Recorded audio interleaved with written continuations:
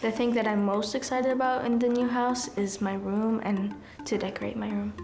I want to have a bunk bed and I want like a desk for my school.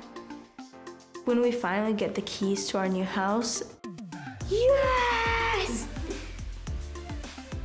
Finally, we have a home.